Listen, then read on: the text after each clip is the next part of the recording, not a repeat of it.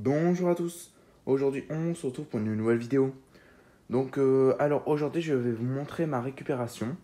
Donc euh, c'est une Mazda Comet LV2. Voilà, vous pouvez mettre pause pour lire. Donc voilà.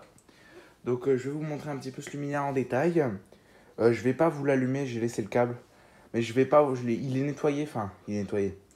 J'ai juste passé un peu l'éponge au-dessus et à l'intérieur un petit peu pour faire plus présentable parce qu'il était vraiment dans un état dégueulasse. Excusez-moi pour le mot, puis je vais le nettoyer euh, plus en détail. Euh, pas en vidéo, hors vidéo. Donc euh, voilà. Donc le luminaire. Voilà, de haut. Donc c'est un luminaire que j'ai récupéré. Excusez-moi. Comme vous avez pu savoir, enfin je vous ai montré la vidéo des luminaires de ma commune, de mon village, de ma ville, enfin bref. Et en fait, on voit un moment dans la vidéo une Mazda euh, Comet LV2. Donc, euh, ben c'est celle-ci en fait, parce qu'ils les ont changés entre temps. Donc, euh, je ne savais pas, et en fait, je les ai vus les changer. Donc, je suis allé voir les techniciens, et ils m'ont dit Bah oui, si tu la veux, prends-la. Donc, il y en avait qu'une. Donc, voilà, donc du coup, je l'ai prise. Donc, voilà. Donc, je vais vous montrer le luminaire. Je ne vais pas vous montrer le ballast parce que c'est la merde à ouvrir. Enfin, il faut le lever par le haut. Et bah, j'ai pas envie d'ouvrir quoi. Donc je vais vous montrer déjà, j'ai déjà ouvert la basque. Donc euh, voilà.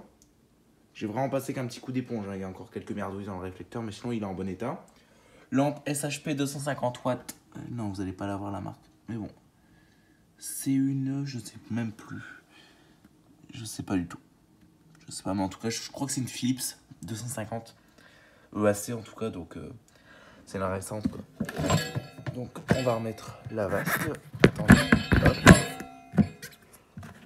J'arrive pas à la remettre. Attendez. Hein. Voilà. Je tourne.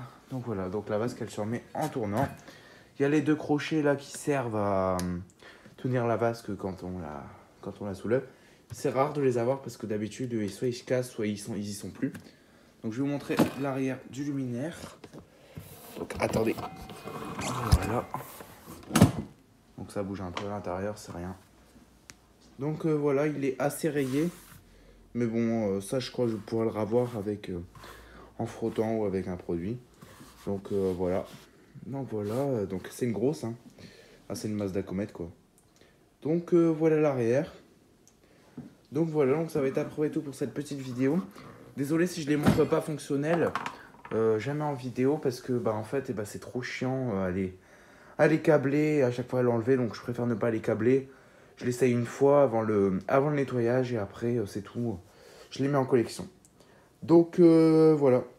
Donc je vous donne rendez-vous très vite pour une prochaine vidéo et je vous dis au revoir. Allez ciao